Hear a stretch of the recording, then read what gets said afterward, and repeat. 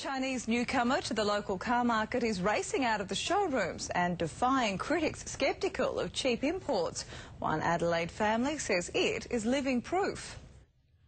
A family of four survived this 100 kilometre an hour crash. And We rolled about six times. Um, finished up on our side, and um, I climbed out through the driver's window, which was broken, and uh, walked around to the back, opened up the tailgate, and my wife and children walked out. The Chinese-made Great Wall SUV proving so safe, Rory's already bought another. I was elated with it. You know, the car itself held together so well when we had this accident. My, my wife, my kids and I were as safe as houses. He's not alone. 500 Great Wall models drive out of showrooms across the country every month.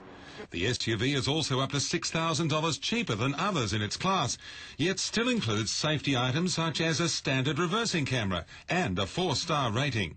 Another Chinese newcomer, the Chery SUV, comes in at under $20,000, just 12,000 for the hatchback.